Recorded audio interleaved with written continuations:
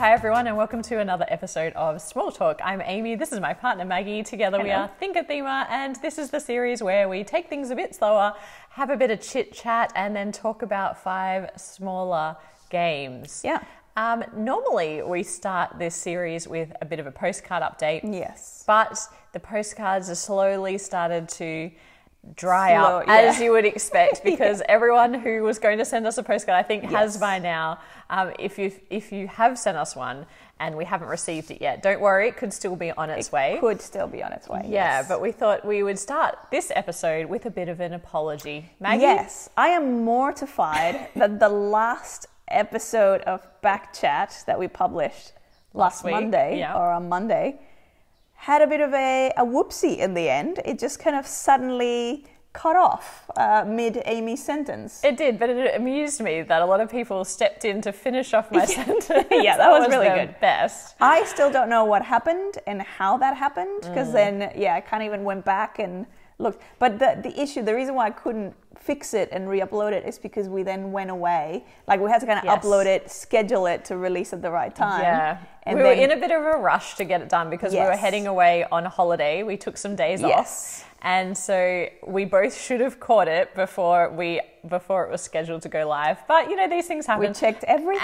and else. Maggie has been kicking herself about Yes. it. Like the whole time we've been away, Maggie's been like, "How did that happen?" I was like, it was just the literally, it was just the last like two minutes where I basically said, "Please like and subscribe like the video." It was like 40 seconds. It was- two yeah. whole Oh, minutes. I'm sorry. That would Well, be even was- more mortifying. It was nothing. It was no one got to hear me say, "Please like and subscribe." Yes. so we got no likes and no subs. no, no. So, so yeah, that was the only thing. Maybe I should do it earlier. Please like this video if you Yes, enjoy if you if you enjoy this leave it the content in minute. general, if you've seen us before, uh, even if you don't like this content, still hit the like. You know why not? Live, live a little, live on the edge. Yeah. wonder if Maggie will just now cut me off whenever I. yeah. like, Oops. I don't know why it keeps I don't happening. know what happened. I just got rid of that last 40 seconds. You weren't going to say anything important anyway. No. Anyway, so we did. We went away. Yes. Uh, we actually went on a houseboat. Yeah, that was a new experience for me. Yeah. me. It was super fun. Yes. Um, we were on the, the Murray River, which is basically on the border of um, Victoria and New South Wales. So, um, yeah, it's like if you're on one bank, you're in New South Wales. If you're on the other bank, you're in Victoria. And um, these houseboats are incredible. They were. Yeah. Um, we didn't organise the trip. It was lovely that our, our friends who have been, you know, really looking. F- they basically put all their energy into planning it while we were in lockdown, um, and we were able to go as a group of ten. Yes. And this yeah. houseboat had five bedrooms on it, Yeah, it's a all feat with of en-suites. engineering. It It is was incredible. It is bigger than our actual home, and it was more Yeah. comfortable than It was. than our It was solid ground. It was real luxury. It Yes. was lovely. It was great, Um, yeah. And while we're on there, of course, we got to do a bit of fishing, um, Mm-hmm. and we also had to. Well, we got to take a lot of board games. We were put. So our friends were very cute, and they gave us all rolls. So when we arrived, they actually put luggage tags on all of our bags, and then they gave us a lanyard and a Mm-hmm. n a, name badge that we had to wear that had our roll. So Yeah. Mine was Meeple Master because I was told to bring Yeah. all the games. Yes. And I was first aid officer. First aid officer. I'm a nurse, and uh, which actually needed use. it, it actually came it in did- handy. it did Someone come in did handy. have a minor injury that I advised them He on, picked up a log from out of a fire.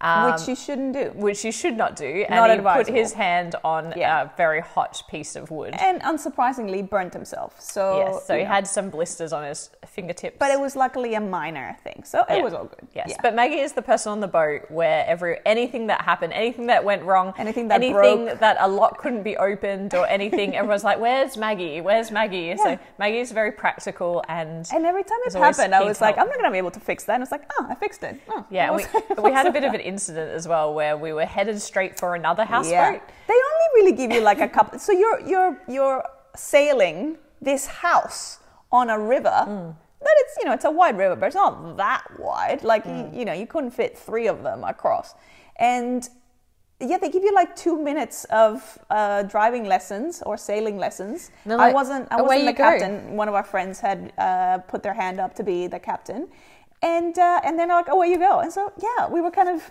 sailing down the first corner. the first, The very first corner, we had to take. overshot the corner. yeah. And Maggie, well, a lot of our friends were not very helpful, but Maggie was the one that came mm. to the rescue. And, yeah, Yeah, 'cause uh, and it- it- the captain panicked. yes. What do I do? What do I do? And I was like, okay, remember the training. Just Throw put it in on reverse. What do I do now? And then it didn't help that then there was someone in the, the houseboat that we were coming towards who could see it coming and was just outraged, going, ah, all these said, "This rental- happens all the time." Yeah, all these people renting these boats are con- Yeah. constantly crashing into me. And it's like, well, you know, sorry, we're learning. We didn't really get that much of a. We Hmm. Yeah. didn't really crash. No, we didn't. them. We just- we just kind of bumped. We averted it in time, and it was just like a little. Yeah, Like- and we were actually moving quite slowly, which was what that- was yeah. quite hilarious because I was sitting upstairs Yeah. and watching us get closer and closer to this other houseboat in slow motion. I was like, hmm, "Are we going to turn? Are we, turning? We we were turning?" turning, but it was one of those. Yeah, Yeah. It, it turns like a boat. It turns from the back, so it's like instead of like when you're driving a car and you know you're steering from the front, you're actually steering from the back. So it takes a little bit to.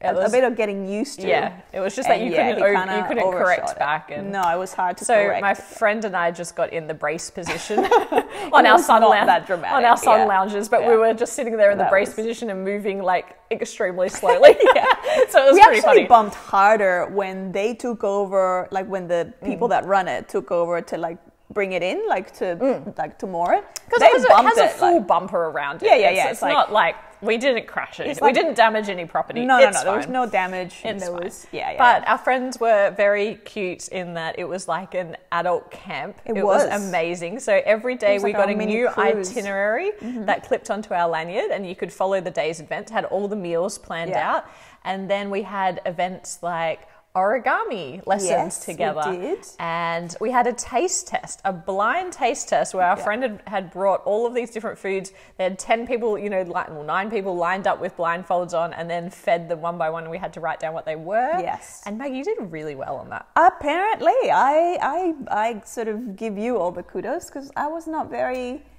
uh, palate form before we got together, and you've exposed me to a lot of foods and cuisines. Mostly Asian foods, I think. a lot of Asian, but like when we like usually I'd be the type to just before Amy, like if I was on a holiday or on a, on a trip, I'd just go and eat, you know, the sort of more generic, more you know, chain uh, food.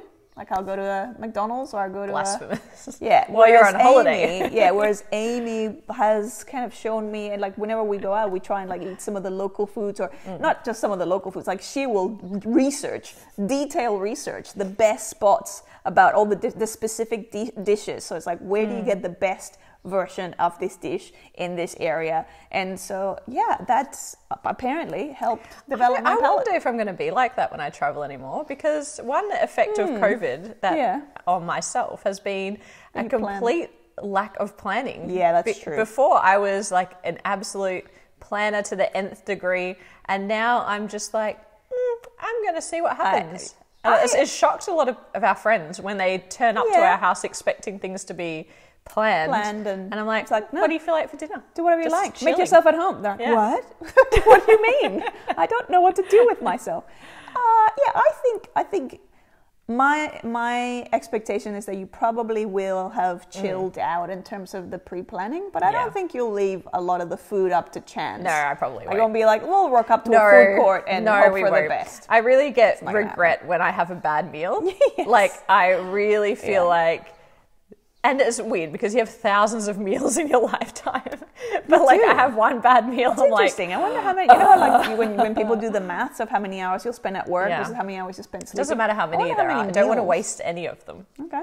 Anyway. I don't want to miss a thing. So we went on a Yeah. boat. We didn't catch any fish. Um, That's not true. There were like Well, three- I didn't, you oh, you didn't. didn't. Oh, I We didn't, even didn't. try. Yeah. Yeah, our friends caught us a couple of small ones, but we were pretty not that good at the fishing. But we did have a yabby net and we caught some Mm. That prawns. very productive. very productive, very and we were using that yes. to, to try and catch fish.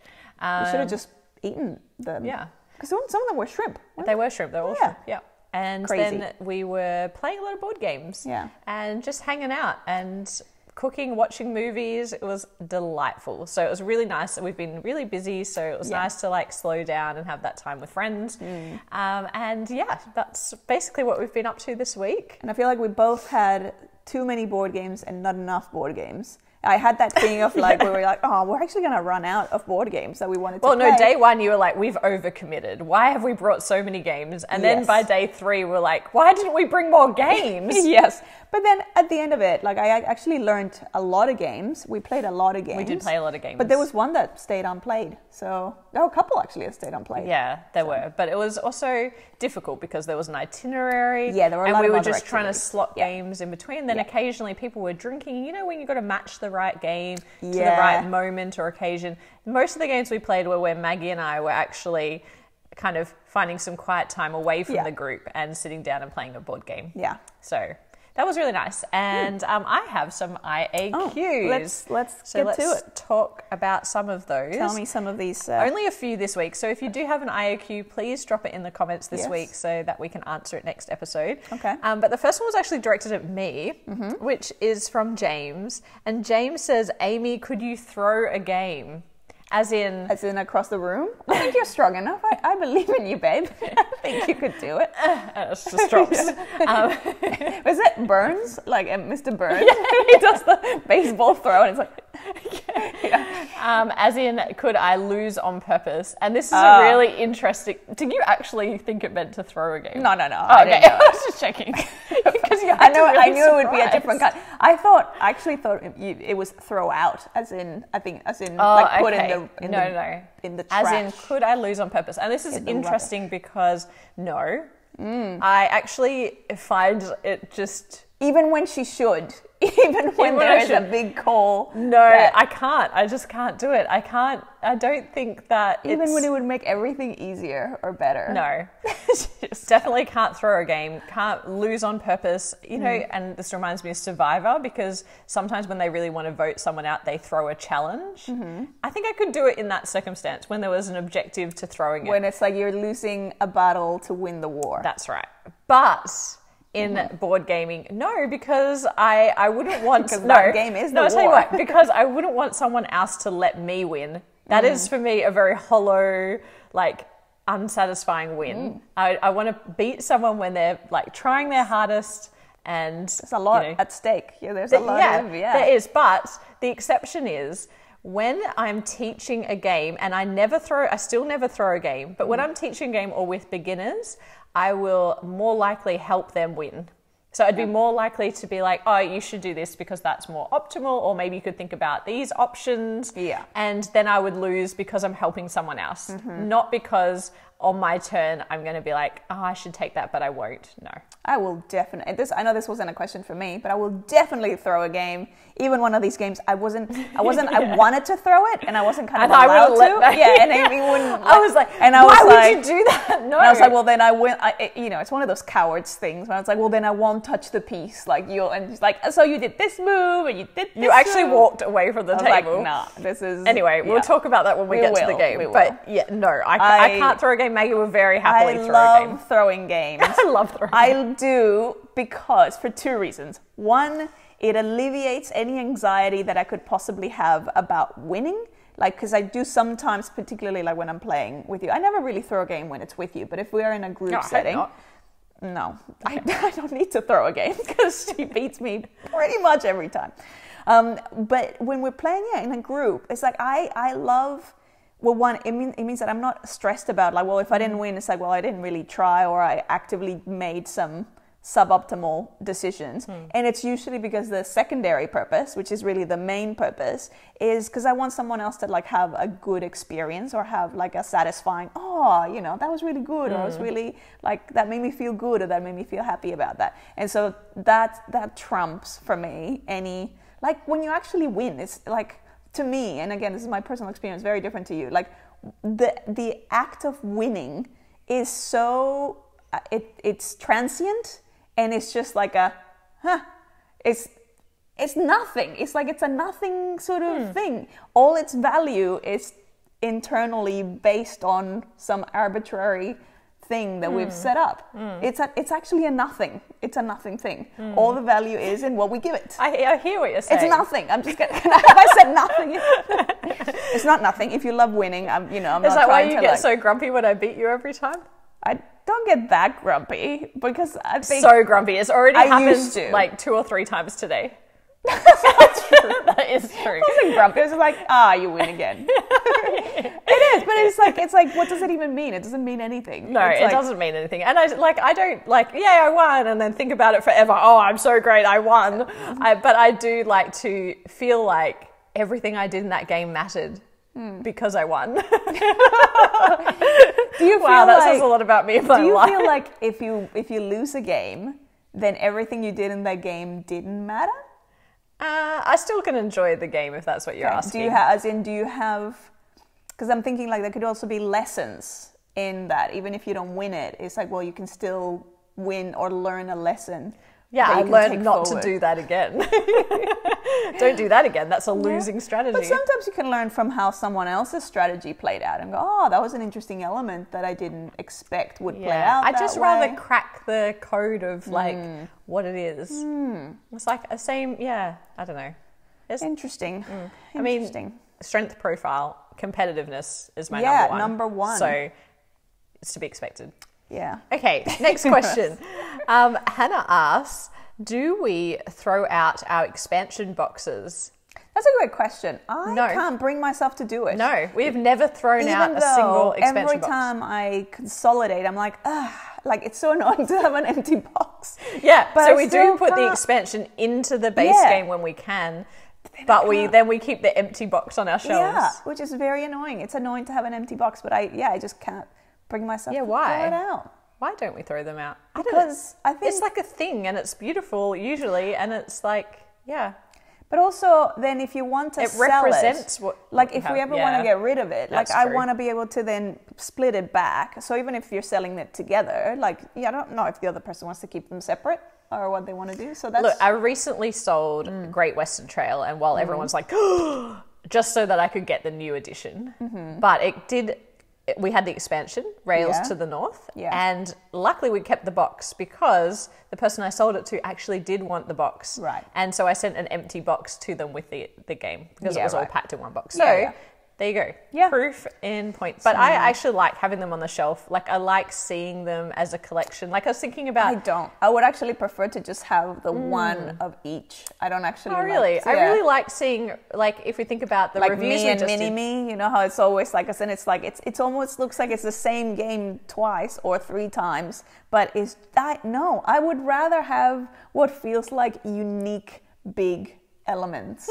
I like seeing all the tapestry ones together, for example. I really Hmm. kind of like that. I was like, oh, that feels like a nice set. You know- Yeah. Yeah. Yeah. I They're very probably colourful. because yeah, probably because the maybe because with that one I don't mind as much, and I think maybe it's because the thickness of the boxes are quite similar. I think it's a visual thing for me. Yeah, No, like they're not. well, not the main tapestry, but the, the two expansions. Oh, the two like- expansions Yeah, they're similar, quite thick. yeah. What I don't enjoy is like when you have a really slim Mm. expansion, and so you have like a chunky main game and then slim expansions. I'm no, Mm. And also, I would say that this might all change when we actually consolidate all of our games onto one shelf. Yeah, at the, moment, they're just everywhere, everywhere. yeah. So you don't really see them all together That's very true. often. So I don't know. We'll see. We'll suss that out when we build our shelf or get a shelf. okay. Um, okay, next question. Darlene asks, what out of print game would you want to see reprinted? This one's really hard. This is hard because I never know what's out of print. Yeah. I'm like, I just know a game when it turns up at the door. Yes. Because Amy's ordered it, or because I've, you know, and usually when I, it's very rare that I'll find out about a game or want a game and it's out of print. I usually seem Mm. to like the more mainstreamy sort of stuff. Yeah. or stuff that for whatever reason I, I usually tend to like the high aesthetic stuff so things that are really mm. beautiful to look at and it seems to go hand in hand with things that are usually in print although having said that sleeping gods sleeping gods Oh, that was hard to it's get not 'cause out it of was print it's just yeah, Yeah, exactly yeah. so it's not Yeah, that it's not out, of print, Yeah. but yeah Just not, that's just too, it was too early. Yeah, to and also find. because I think for something to be out of print, usually it's going to be an older Yeah. thing, and so I, and again, I'm I'm more sort of I hate saying this because I'm so old and I shouldn't be saying this, but vibing with the newer aesthetics. I am so sorry. I apologize in advance that I use that word um, because I yeah feel I'm too old to be using vibing. But yeah, I really do like I resonate more with the newer art. Yeah, art, but- like aesthetic and artwork. Yeah, because I feel like backfilling your collection with older games Mm-hmm. is more of a collector's thing. And for me, it's more actually about the discovery of the different mechanics. Weirdly, Mm. because it's like back then, I don't know. I don't know if they were. I'm, I'm sure I'm wrong, but I feel like a lot of the stuff, the older games, Yeah, because they go introduce for, new things that Yeah. now you see replicated in um, newer games. I'm rarely into the.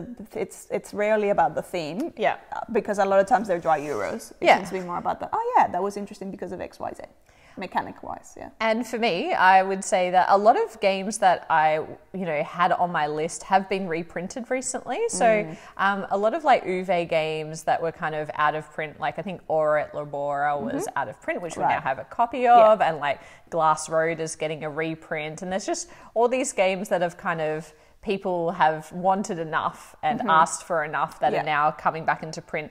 A game that I would love to get my hands on is Glory to Rome Mm-hmm. um, by Carl Chad- Chadwick. Um, Chaddick, Chaddick from uh, Innovation, because Innovation is just a Ah, game yes, that is yes. just this like curiosity to us. Yeah, it's such a bizarre little thing. bizarre thing that just is like almost its own category of game. I don't even know what to do with it, but and I don't even know if we love it or hate it. But it is there, and every time I see it, it gives me warm feelings. It's got its weird moments. It does. It's, it's got its place. intriguing. Yeah. Um, so you know, I, I thought it would be great to try his game that I believe was designed uh, with someone else. Mm. Um, yeah, so that's one of them. I'm trying to think of other ones. When we were in Spain, we picked up Goa, which has been out of print for a long time, and Yeah. so we're really lucky to get that. We for a long time I wanted to get a copy of Russian Railroads, and then I Yes. managed to get a copy of that. So I have chased down games um, Yeah. in the past. I think also often what happens with those older ones is like we get them and we play them a few times and then you kind of like they sometimes can feel like oh yeah like that those mechanics because they kind of had their place those mechanics and the way that those games work have almost been kind of copied or And evolved, replicated yeah. and evolved Yeah. so now you often have feel like or this is how I feel I often feel like I've played like more interesting or more engaging versions of those core things. Yeah, but I, I like that. Yeah, I feel a the history of them. Like, yeah. it's like, oh, this is where that idea first came from. Yeah. That's really cool. And then it sits on my shelf, and I'm like, ooh, what a great collection. Yeah. So you don't get that so much. No. No. I would throw it across the room. No. you would throw a game. Um, anyway, those are all the IAQs we have. Um, if you have a question for us, do drop them in the comments. If I've missed your question, I apologize. I have been a bit slow on the comments lately. Things, life has gotten a bit busy uh, Yeah, out of lockdown. Yeah, it's tricky now. Yeah, and in the lead up to Christmas as well. So please drop them down again. But otherwise, we should talk about some games. And these are Oh, yes. Hmm. some of the games that we actually took with us on the boat. All right, So let's get into it. yeah. How about Wild Space? Oh yeah, so Wild Space. Wild Space is that was an interesting one because in Wild Space you have you're a commander. I, I think again thematically, uh, I like the aesthetic of this game. Like I actually really like the way it, it looks. You are these different animals in space, and you're all um, you kind of have your your captain of your your ship, but then you're going to be allocating or sending all these ships to all these different planets. And so ultimately, it's it's really abstract. There's no more theme than like set collection and victory point gathering. Yeah, really. but I- but I- they're animals. It's like wild wild animals. Yeah, but space. it's it's quite clever because most of this game is just a few bits of cardboard and cards, and it's in quite a small box. But the the idea of the game is to create sets of different types of animals. So you can either collect um, one of each of the six types of animal to get a lot of points, or you can you can focus on you know trying to get lots of one type of animal, which is also going to give you a lot of points at the game. But what's really interesting about this mechanically is you have the planets. You have two starter planets at the start of the game that everybody can access because you start with one captain. And what you're going to be doing is playing cards in front of you that represent new members of your crew that are mm-hmm. going to enable you to travel further into space because you need more manpower apparently, to get to different planets. And so, as you get three, six, or nine crew members um, or cards down in front of you, you're going to be able to reveal new planets that only you can access if you've got the right number of crew members. So, if I had nine, I could access a planet before Maggie if you only had seven, for example. Um, but what you're going to be doing on these planets is placing a worker. So, this is a worker placement or game. landing your ship. You're landing your ship worker. Yeah. And so your ship worker gets placed out onto the planets. And what's interesting about this game is you'll have exactly 10 turns in this game. And the way that this works is you'll be able to put your spaceship out on five different spots on a planet. Each planet has two different worker placement spots. You'll be able to put five workers out, and then those five workers are going to slide up to. Or explore the planet. Thank you for translating into theme, in case this theme is in out case there. you're listening. lost Yeah. in terms of what's happening thematically. So each planet is really in four parts. You're going to choose one of the bottom parts to, to land on first, and then when you explore, you are sliding your worker up, your spaceship up mm-hmm. to the top part of the planet, and then that you're done. Like you cannot move that worker again. That worker is That spaceship is it's spent. It's Yeah. spent, and you're Out of commission. You're done with that. But what's really interesting is each of the planet initial spots where you land gives you a different action, and most of the actions in this game are pretty simple. Either you're going to be playing a card out of your hand into your like tableau in front of you, um, or you're going to be uh, able to pick up new cards either from the marketplace or from uh, the top of the deck. And the the cleverness of this game is in the combos that occur. And because what you're trying to do is elongate every hmm. single one of your 10 turns to maximize the number of cards that you're going to have down in front of you. Some of the cards have animal well have those animals on them that are going to enable you to get points of set collection at the end. Some of them actually have end game scoring conditions hmm. um, that are going to mix up the way different people score. If you've got the majority of a certain type of career or type of card combo, all of hmm. all of these different things. Um, and yeah, the, the thing is, is when you play a card, sometimes it has a condition on it that says, well, if you've played this type of card, or if you've got a um, like this type of a career down in front of you, contract or a, yeah. yeah, then you'll be able to play another card, or Hmm. then you'll be able to pick up three more cards. And so, what you're trying to do is chain together um, a whole series of cards. And. Yeah. so, when I first played it, I was trying to put down as many cards as I could quite quickly. Then I realized it's actually better to pick up as much as possible because Yeah. you have no hand limit, and then chain together as many cards as you can. So you can have one of those super combo. This triggers this, triggers this, triggers this, and then Yeah. before you know it, you've put you know four or five cards down. Yeah, and if Yeah. you you know how we play, you would know that that means me going, Maggie, Maggie, watch my turn. Maggie, watch this turn. It's going to be so good. Maggie, Maggie, Maggie, stop Like looking at little your kid. hand. It's like the kid that's like, Mom, Mom, Mom, look at me. I'm gonna do this But thing. it's like, just do it. It's fine. I fine. play like five cards in a row. Look what I did. Um, yeah, so, So if someone else didn't see it, it didn't happen. That's right. thing. Yeah.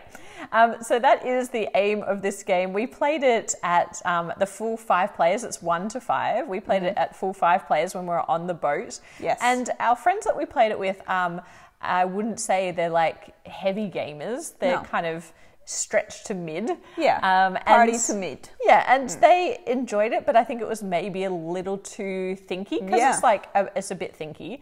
It's a bit thinky. Yeah, I actually found it satisfying. I, I found, even though it's very abstract, there's no real theme that comes through in terms of like in a thematic sense because the aesthetic was so appealing to me like the colorfulness of it and the just i really enjoyed the the yeah the artwork on it Yeah. i found it really enjoyable to play and i i enjoyed the the puzzle at its core so Yeah. yeah i, I- I had a good time I found it a little simple for Mm. my taste. I felt like it was maybe too complex for them and a bit Yeah. too simple for us. The weird It was spot. yeah, Yeah. And I also felt as though I wish the planets, the worker placement spots, had a bit more variation. Yeah, they're quite or samey. like a little Yeah. bit more interesting because it felt like when I wanted, when I had a bigger crew, I wanted something really powerful to happen, and that Mm. didn't that didn't really come true. Um, it says 30 minutes on the box. I felt like it was quite a bit longer than that at Yes, I five players. Our, our friends are a little slower because they're not used to gameplay so much. But I did feel like even when we played it too, we'd probably Yeah. be just on that 30 minute mark. Yeah. I really liked it at two. I preferred it at two. Um, I um, I enjoyed it equally at two Okay. or at, at the higher player count. I played it solo. Uh, and the solo again, it's a fine solo. You've got a little AI. You can uh, shift the difficulty based on these different cards. So the AI just has uh, yeah cards which are the planets that it's going to be landing on, and you get to kind of control which of those essentially uh, the timing of, of the movement of their ships into the onto those planets. It was it was fine. It wasn't super arduous, but it was enough of a distraction for me that again, like I don't like having to facilitate an AI. I prefer games where you're pretty much just playing your same game. And th- to be fair, that AI, as I said, it's it's fairly low uh, maintenance and it's mostly just interacting with the market so it's helping it's it's getting cards from the market which is going to help it score at the end and it's also refreshing the market for you in a way um, so and you do because you you know you, you can sort of decide which you usually have two different cards um, as your options to to move you you can kind of see what's going to be better for you. Sometimes, if I wanted to refresh the market, I would then kind of land uh, their ship onto one of the planets where there would be a lot of activity on the market. So it, it was fine. It's not something that I would play solo myself because again, it's fairly abstract, and that little bit of facilitating that turn. Distracts me enough to make me go, no, I'd actually just rather play multiplayer and be able to just focus on my own game. I was thinking actually this would be quite a good game. It's 10 plus, but I think a 10 year old would easily be able to play this. Yeah, I yeah. think that it, it'd make for a great family game. And the reason why I say Mm. that is because I think the reason why it doesn't resonate as strongly with me is the lack of player interaction. So yeah, there's really no player interaction at no, all. You even the worker placement it, yeah. spots, there's no competition. No, You can yeah. go out wherever you like. You might have someone who can get to a planet and you can't, but that doesn't really No.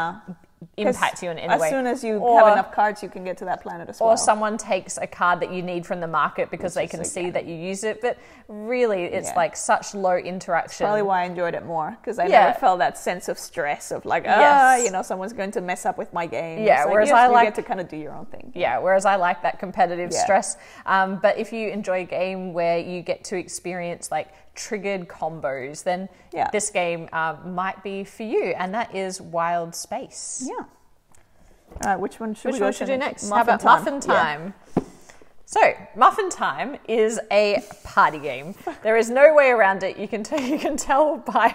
You can just tell by the way it looks. It's Yeah. fun. yeah, that it's like We've had this game for so long. We've had it for so long. It was a Kickstarter Mm. um, by Big Potato Games, um, and Muffin Time is a game that is something that you bring out is kind of like unstable unicorns or exploding kittens Mm. Yeah. definitely in the genre of those games. Yeah. The aim of this particular game is to start your turn with 10 cards. Mm-hmm. That's it. That's how you win. But in this game, you are going to be able to set traps, which are cards that are placed face down in front of you that get activated when someone does something around the table. And Yeah. that might be to do with the game, um, or it could be something completely unrelated. So someone eats a snack or someone sings out loud. And so it, it's great when you've got that like kind of louder Yeah. party environment where people are kind of playing but also doing, you know, Yeah, kind kind of of chatting. and- socializing at the same time yeah. yeah. Because it's like the next person to laugh out loud will trigger this trap. Yeah, yeah. Um, and when someone does, it's quite hilarious because you get to flip this trap and then some they get impacted in some way. Mm. Yeah. So the first thing you're doing is you're setting traps. Then on your turn, you only get to do one of two things. You can draw a card from the top of the deck, or you can play an action card and resolve its ability. Um, however, these cards are really chaotic. So I guess the objective is to get to 10 cards. So you always want to be picking up, but there's such strong actions on the cards that it's always really tempting to play an action card instead and actually use a card from your hand. And the cards are just things like they have some mini games. So some of the funnier ones is, you know, you play a card and and it says the last person to stand up has to draw three cards. So suddenly someone will stand up and everyone like realizes what's going on and everyone jumps up. Or the last person to touch the card. That was another funny one. So there's just like all of these chaotic things. the mini games and then there's just direct like take that kind of cards, like direct conflict. I'm going to steal three cards from Mm-hmm. you. And then there's also counter cards that you can have in your hand um, to stop those those actions um, hurting you. Now, what's interesting is we brought a lot of games onto the boat. Yes. Um, and this was everybody's favorite By game. far the winner. And you know, when you're a gamer, you're just like, oh, that hurts me. Yeah, it's like the That party hurts game me. was the more popular Yeah, game. but at the same time, it's like, what is the objective of a board game? It is to, you know, Bring get people together. bring people together, Yeah. put the phones away, have some fun. And this game got a lot of laughs. I found it really enjoyable. It probably overstays its welcome. Like it's Yeah, quite. it is a little bit longer than it needs It's to. for way longer than it one should be. game session, like for each individual Yeah. game. Yeah, But- because then there's things that make it like, you know, there's some cards that be like, well, now it's whoever has the fewest cards, or it's Yeah. like whoever has no cards, or- and, and so you just it's have to constantly be changing. There's the no state of play. strategy. There's no, strategy. There's no way that you there can are, there are get cards where it's at it like everyone put throw their cards away and start the game from scratch. So Yeah. it's like crazy chaos. chaos But what was fun is like one of my friends who was sitting next to me. Just at, at some moment, he was just having so much fun, and he just turned to me and he was like, "I don't even care about winning. I just want it to go on forever." And I was like, "It's already been going on for a long time." Yeah, and I which wish it would stop. No, Again, it's like- interesting because it's like if it's if you're not a gamer and you enjoy the party aspect of it, like you love this. Like as a gamer, it's like we're more enjoying. Like I wasn't so much enjoying the game. I was having a good time with the game, but I was more enjoying the fact that you know, yeah, everyone around me is enjoying themselves. Yeah. But the game is not really as satisfying because there is no strategy. It's just like chaos for the sake of No, chaos, yeah. and like the funny thing about like setting off the traps and Yes. you know, kind of going oh, Yeah. because sometimes it's about like you you have to trick someone into doing something. So maybe like trick someone around the table into saying something in a foreign language, or Yeah. like you know say hello to someone or and get high them to say five hello. someone. You're high yeah, five yeah. someone, yeah. And so I think um, you know we got the Kickstarter version, which came with a whole range of expansions, which we just threw in. We shuffled them all in. Mm. Yeah.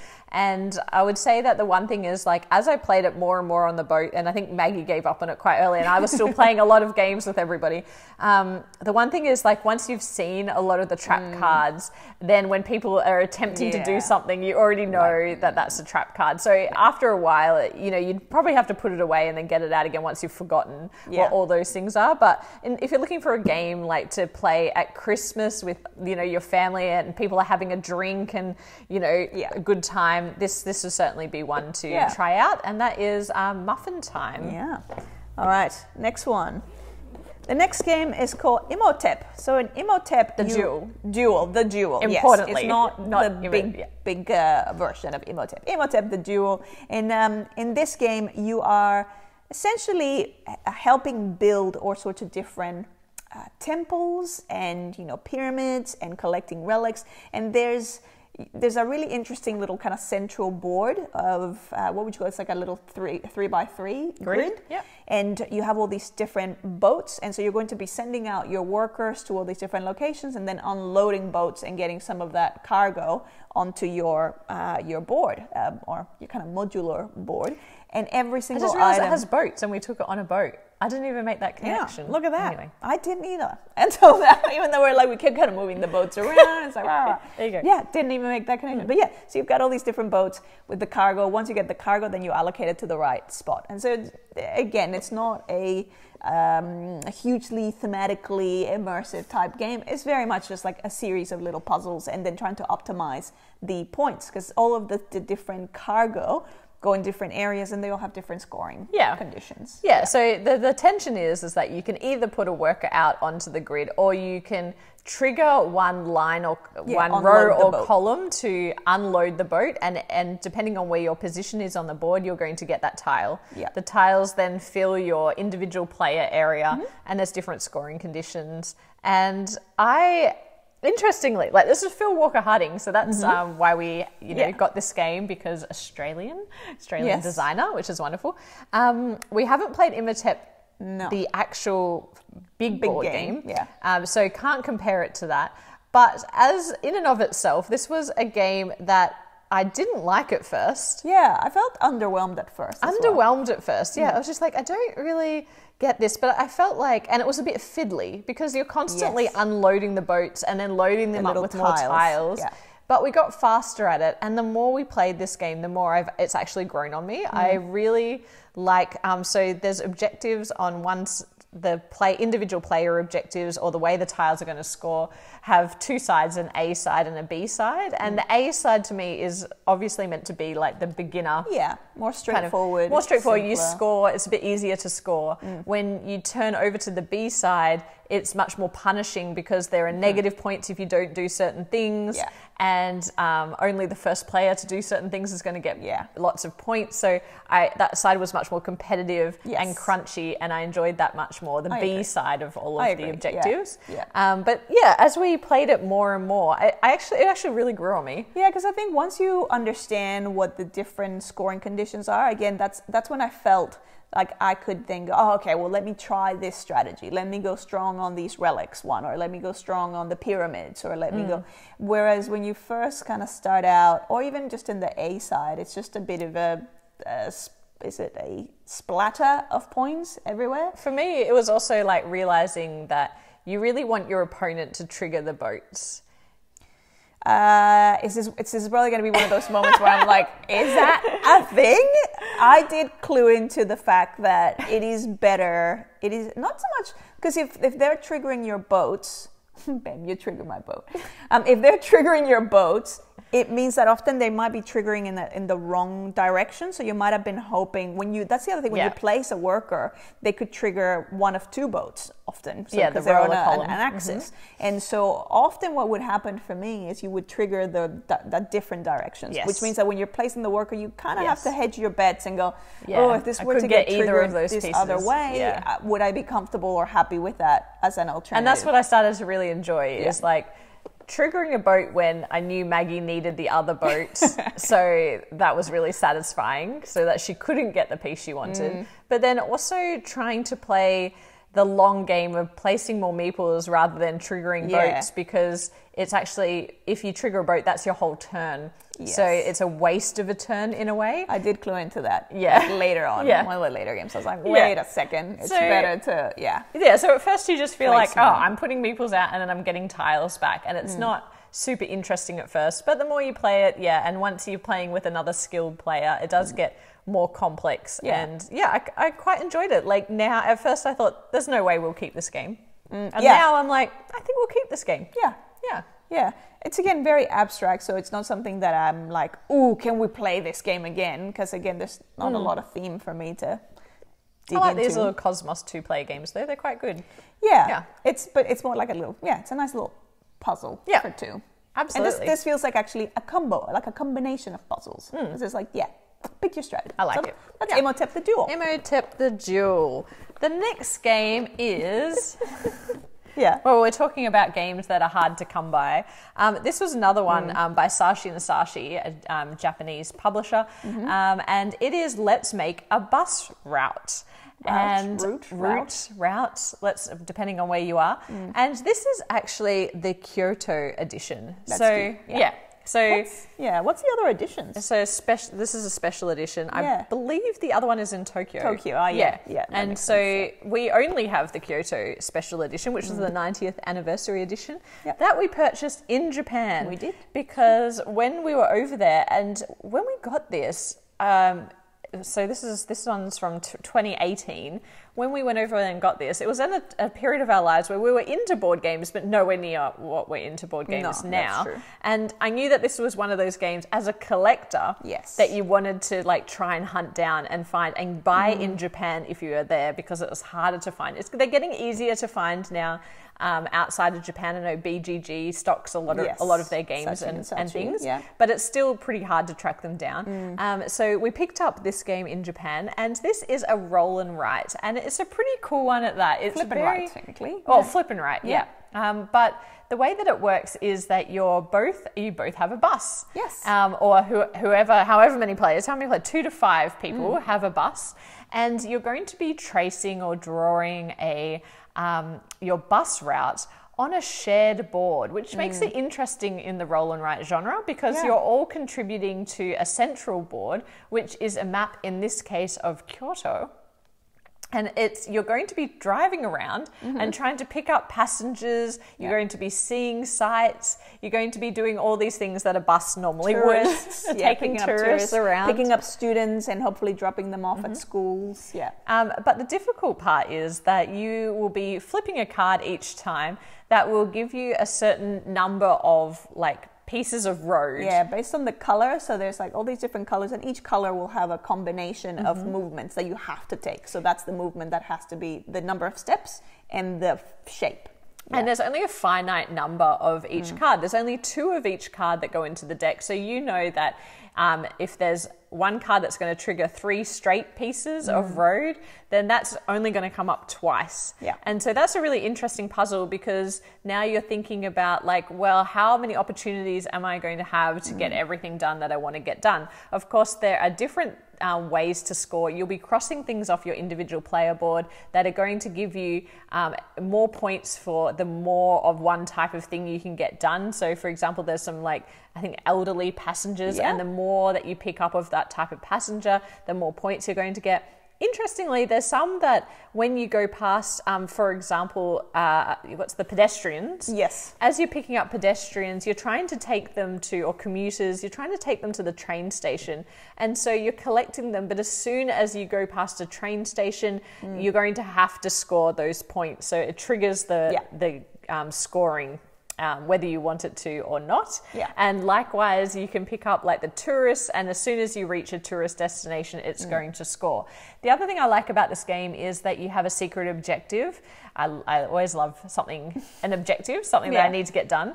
Um, and usually, this is this is around. Um, Getting to a certain number of stations, so Mm. it'll be you need to get to the A station, the C station, and the G station, and they're going to be quite spread out on the board. So it kind of gives you a path that you need to try and map in order to get more victory Yeah. points. And then there's two public objectives as Yeah. well. And so the first person to achieve that is going to get 10 points, and then every subsequent is going to be six points. So some real classic um, roll and write type Yeah. things. Um, but this was quite advanced for its time. Yeah, Um, yeah, because I feel like it might have been the first roll and write or one of the first. Mm. Yes, I think maybe. Welcome to would have been our first flip and write. No, And this was before that. Really? Yeah, definitely. Yeah, wow. So Yeah. yeah, I think this is yeah, this was quite ahead of all of the. It was Yeah. definitely well before the the onslaught um, or the avalanche. of- Definitely, yeah. It really kind of defined the and genre, and and, I yeah. think that's why it's so collectible because people kind of want to own it. In terms Yeah. of the complexity, um, it is lighter than Yeah. other roll and rights or flip and rights in our collection, but Yeah. there's still enough here, I think, to satisfy a gamer.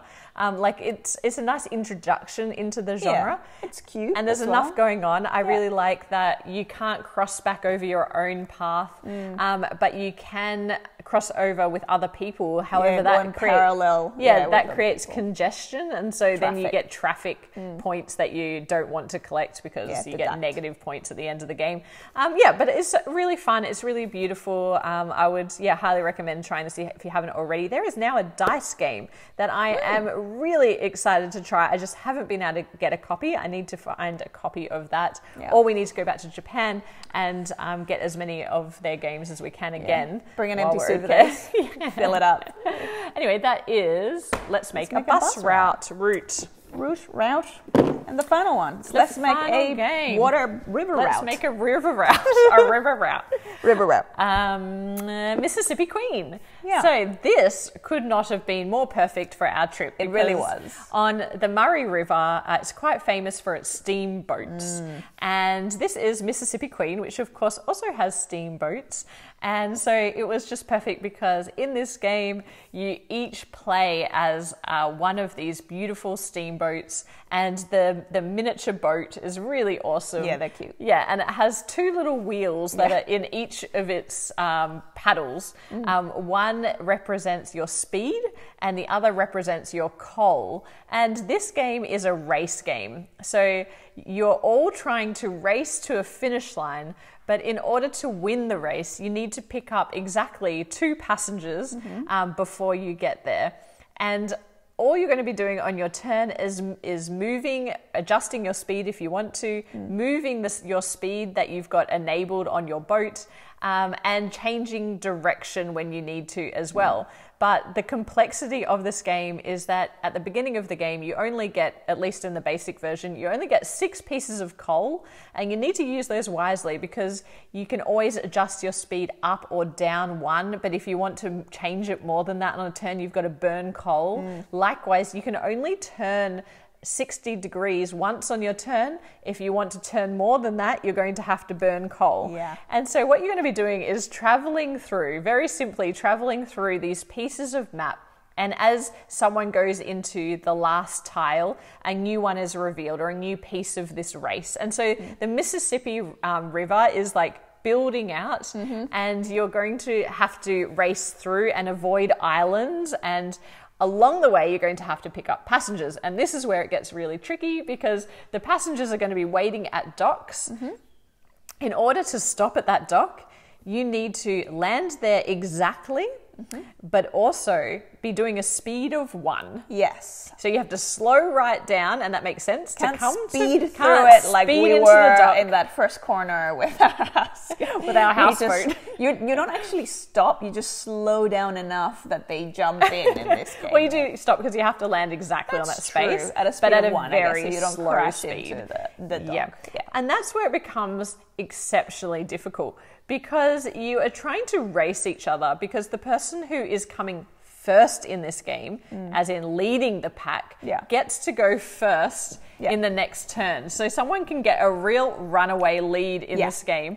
Um, but if you're going too fast because you're trying to get to that first position, you're going to be going way too fast to pick up any of these passengers. You're going to sail straight. We often by. have the scenario where you're like you're going so fast that then you kind of have to do a bit of a round around loop. trip. Yeah, even though you're like the, the tile is right there and you're just kind of going around trying to slow down your speed before you can actually land. Yeah, but what- speed of one? But what makes this game even harder is that you can bump each other. Yes. So if you um, want to go through someone else's boat or the space that someone else is on, you can use two movement points to do that, and that allows you to bump them out of the way onto an adjacent um, kind of space. Yeah. And that becomes especially problematic because you've already calculated just the exact amount of Yeah. speed you need to be doing to get to this pier to pick up a passenger. And just when you're about to come in to pick up that passenger, someone comes and crashes into the back of the boat, moves you out,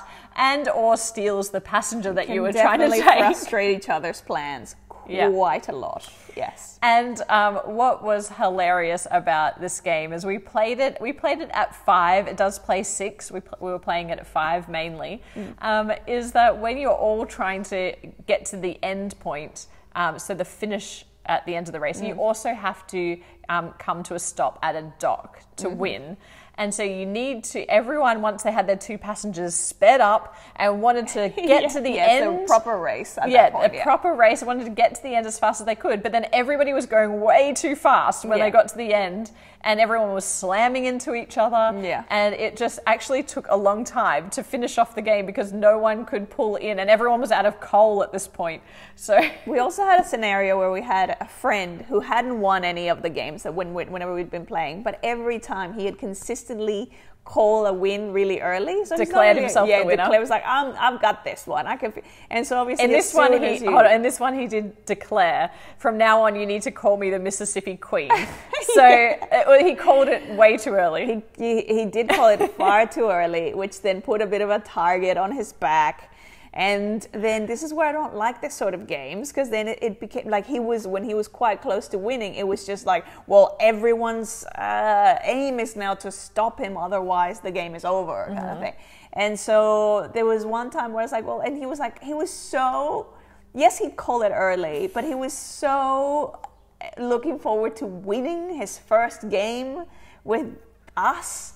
And I and he was like, I was getting ready to call my mom and tell her how like I'd finally and, and I was just like and this was a time where I was like, I feel like I could just like I felt like throwing the game. But Not- the moment was, the moment was, he was about to win on his next turn, Yes. and the only person standing in his way was Maggie. Yes. So Maggie had one turn, and her optimal move would be to stop him from winning so that you could win in the next turn.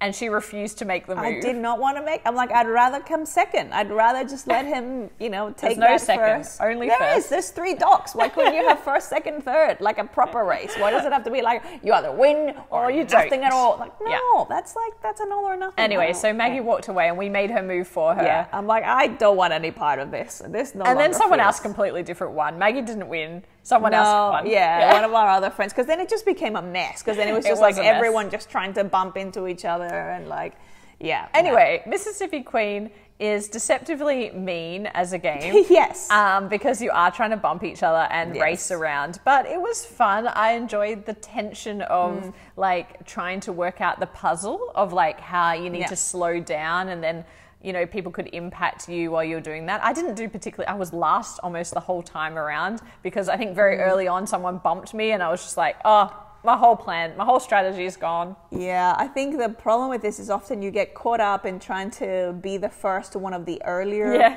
docks where to collect one of the. You Need to go past the first dock. Yeah, you need to just kind of let it Sail let it- Yeah, sail through because then you end up getting really left behind when everyone else is sort of going ahead. Yes, and there are advanced um, rules as well, so you can Mm. add in like different uh, things that slow you down, like sandbanks and things, Yeah. um, or debris. Yeah. Um, there's also, you know, in, in the advanced game, you can actually stop and pick up more coal to make it a bit more competitive Mm. and interesting. Um, yeah, but I think this is the kind of game that I would keep, but it has a very specific occasion. Mm. Yeah. And that occasion is probably like as a, a warm up game for a group of people who, like at a game day or something. Like it's, Yeah. it's got such, so low rules overhead. But what's really cool about it is that the, the Mississippi like builds out. Yeah, so you actually need quite need a big a lot of table, table space. space, yeah. it was like we actually were playing it on you know like a neoprene sort of a play mat, Filled and it mat. was and it was pretty easy to move around like the whole thing uh, together to kind of make it fit. But yeah, this is not some like this. You need a, a fair bit of table You real do. estate. Yeah, to but play it. I think it's just a fun one that because it's a race, everyone's like looking at the board and it just has a bit of presence about Mm. yeah, it. absolutely. Like you've Yeah. got the little boats, you've got the little, you know, the dials. I will say with the dials, it was a little bit. Um, it was easy for it, like we had a friend that whenever he would move the um, the ship, some of the dials would shift. So you kind Mm. of have to keep an eye on where, you know, where, what number you've got showing, and be careful when you move them that it doesn't yeah roll around too much Hmm. because then you end up with like coal that you didn't have and speed that you didn't have and some of those sorts of things Yeah. so for me it's a little bit too mean for me Yeah. like it's not something that i enjoy but i enjoyed seeing it come to life like seeing that that whole thing be built Yeah, and we also don't have a lot of race games in our collection. No, so, we don't. Yeah, so Yeah. I think it's cool for that reason. Um, Yeah. That is um, Mississippi Queen. Yeah. So that is all our games, but Yeah. there is one more thing that we did want to talk about. Oh, yeah. And that is that but before we went away, we had my sister over, Mm-hmm. and one thing about my sister is she she likes games, and actually she really likes games. Yeah. But we always we always kind of have to convince her to play a game. yeah she likes them she's very good at them she's an engineer exceptionally good at them. but she's just never had the bug No. she never caught the bug But one thing Yeah. Mm, is, she really loves puzzles. yeah. um, And during lockdown, of course, everyone went through this phase of doing every puzzle that they Yeah. could get their hands onto. Yeah. It was like a huge craze for a while. Cause Then everyone got what sick of else are you gonna puzzles. and everyone, no one wanted to see puzzles ever Yeah. again. I totally relate to Yeah. that. But we, when in a previous episode of Backchat, Mm. we actually spoke about a really cool campaign that we came across called Quezzle. Mm. Yeah. And um, after that, we were contacted by Quezzle and they offered to send us a copy for us to have a go at. So Mm-hmm. Yeah. when my sister came down for the weekend, um, we were able to get this to the table. Mm. And you know what? It reminded me the power of puzzles but in but in particular I really enjoyed this one much more than a usual puzzle Mm. because all of the pieces are made out of wood Yeah. and it has a beautiful quality Yes. to it like Yeah. they feel really beautiful Yeah. Um, and the picture that we were doing was um, of all of the hot air balloons. It's so vibrant and beautiful. I actually really, really like the yeah the image itself that you're that you're bringing together. Cappadocia. Yeah, the, it- yeah, the, the, yeah, because it's based on the the air, hot air balloon. Is it like a competition or like a Uh, no, it's just an area in Turkey. oh where they just Yeah, where they do this. But even like you know, even on the ground where you have like the markets and like different areas. The other thing is that it comes in four parts, so it's like four puzzles that then you can bring together to create one big. Yeah, world. and you can just buy one. Yeah. Um, or you can buy all four and piece them together. They do a whole range of puzzles, but this one is just. It's so beautiful. beautiful mm. that it was like for the first time I was like, I actually don't want to break it up. I maybe want to mount it onto like put mm. glue over it and mount it into our gaming room because it is really colorful and vibrant and beautiful. But anyway, I was going to say the pieces are made of wood, so they're really texturally lovely. But what's really interesting is the shapes of the pieces. Yeah. So the shapes of the pieces are sometimes um, like some of the balloons were actually round pieces, Mm. which is like, okay, that's interesting. But then there were other pieces that were like, the outline made it look like um, so, someone with a sword. Yeah, an animal or a yeah, like Yeah, or an elephant shapes. Yeah, or something and yet it all comes together Yeah. into this like beautiful picture and so i just thought that was a really fun the other thing is that when you finish the puzzle there are extra pieces Mm-hmm. and those extra pieces can be put together which i could not do i'm no, so I bad at this We so, needed your sister for this. so the Yeah. sister the engineer was able to put together Yeah. the Like, remaining pieces to create a 3d animal Yeah. and that was really cool and she really enjoyed that too Yeah. and just all together we just had so much fun with this Yeah, we, it's really we did, pleasant, yeah. we did all four puzzles over a weekend they're not particularly difficult if you're No. looking at the picture if you're not looking at the picture quite difficult Yeah. um, but yeah, I really, I don't know, I just really liked it. I thought it was really vibrant and cool. Yeah. Their whole selling point is around this like quest and puzzle combo. Mm. Like that's why it's called Quezzle. The quest part, mm. Yeah, because it's it's sort of meant to be almost like like like a little quest or mini or yeah different mini games that you unlock once Mm. you've built it out.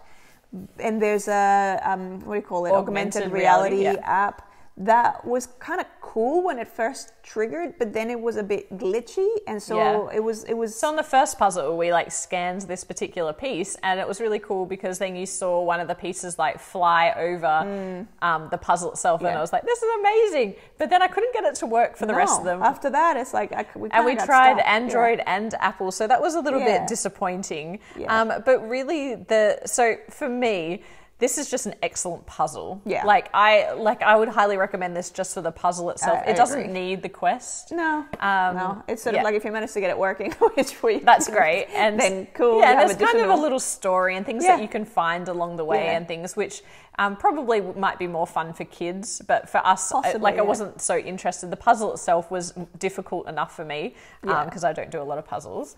And it's Uh, just beautiful. It's it's- stunning. it's It's, just something really that, stunning, like, yeah. it's like you could totally. and uh, and the image itself is really intricate. Like there are things going on in the puzzle that like along the way you're like made me laugh or just like it's just a really detailed. Beautiful picture, Yeah. kind of like a as detailed as like a Where's Wally, Where's Waldo Yeah, kind yeah, of yeah. image. So yeah. really, really beautiful, really high quality puzzle. Um, yeah, so we just wanted to talk about Quezzle. Yeah, and the wood actually like, it, and some people like this, some people won't like this, but I do find like the you can the smell of the wood because it's like a laser cut wood. Um, yeah, it's nice. I. The only I thing is you it. can't like slide it together. You really have to lift Yeah, the be, pieces like, on and top, put yeah. them right in. Like trying to fit things together sometimes Yeah, we're a bit sometimes like, like, "Ooh, okay, yeah, there." with the interesting shapes. But yeah, that is Quezzle. We had a lot of fun with that, and yeah, I I, I love that picture. Like I'm It's gorgeous. It I, is- yeah, I want to kind of. I don't know if like what's the word. It's not really laminate, but it's like yeah, I think you can it- get a glue that you can put over it. Yeah, yeah, to then mount it because it's it's that beautiful Yeah, image. it is really beautiful. Oh, and the other thing is when you have the four puzzles, you can actually replace some of the edge pieces so that it makes them all locks connect them, together. So yeah. it locks the whole puzzle together. Really clever. Yeah. Um, anyway, that's Quezzle. And that is all we have for Small Talk uh, for this fortnight. Thank you for watching. And if Maggie doesn't cut this off, please like. please like the video, subscribe if you haven't already, and we'll be back with more board games this week. Bye for now. Bye.